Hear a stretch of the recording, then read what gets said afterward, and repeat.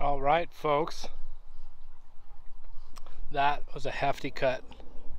That was a hefty cut. Let's peek at this bad boy. Oh my gosh. the array of colors inside this. You've got to be kidding me. Oh my gosh, look at that.